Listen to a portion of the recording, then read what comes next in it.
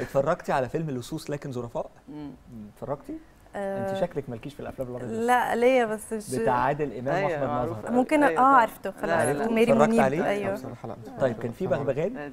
كان في كان قديم قوي هو اللي فضحهم هو اللي فضحهم أيوه طيب ده إحنا كده بنقولها بهزار الجدير بالذكر إن كان في لصوص بره جدا يعني كان حاجة كده بت بتهرب مخدرات ده من ضمن الحاجات الموجودة بتهرب مخدرات وكانت عصابة كبيرة جدا جدا جدا وكان مين اللي بينقذهم؟ البغبغان. كان كل ما يجي الشرطة يقول لهم are coming يعني الشرطة جاية علينا البوليس البوليس جايين آه، علينا آه. وبعد كده وبعد كده لما الشرطة عرفت إن البغبغان ده هو اللي بيعمل كده لأن هم خلاص آه هم خلاص يعني كل شوية بيطلعوا منها قبضوا على البغبغان ده وعقابا ليه حطوه في حديقة الحيوان قبضوا على البغبغان مش ال... هو قبضوا على البغبغان آه. علشان خاطر هو ده وحطوه في حديقة الحيوان آه ده أكبر دليل على إن الحيوانات.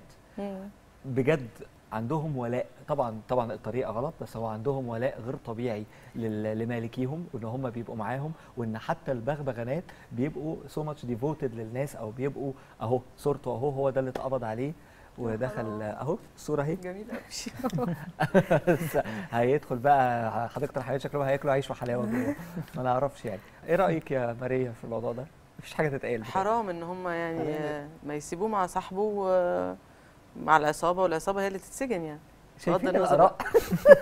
لا بس شايف. بس أنا أقول لك حاجة يعني هم برضه ناس ظريفة يعني هم ما عملوش حاجة هم ودوه حديقة الحيوان فبرضه يعني يعني أنت مع حديقة الحيوان ناس أنت طيبين مع يعني. يفضل مع أصحابه طبعا هو إيه رأيك؟ زي أهله أنا شايف إن هو يستاهل بصراحة الحكام يروحوا النار على طول على طول لا ده أنت يجيبوا في حتة ثانية خالص إيه رأيك يا آه، دكتور؟ هو طبعا يعني ما بأيد الأستاذة ماريا أنه مع أصحابه هو كده يعني يفضل مع أصحابه. نعم. أنا بقول لا يروح جنينه الحيوانات يخليه مع أصحابه الحيوانات بدل ما البني آدمين علموه آه والله ال- شفت حاجة وحشة السرقة.